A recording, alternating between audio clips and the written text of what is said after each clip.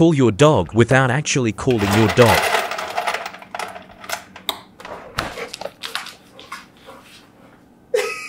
yes.